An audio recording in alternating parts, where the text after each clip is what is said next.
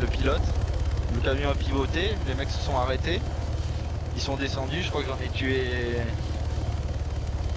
J'ai pelé, je les ai ratés. Du coup, je me suis mis en retrait, j'ai balancé une grenade, j'en ai eu un. Puis après, le deuxième m'a cherché et j'ai fait un bon vieux contournement.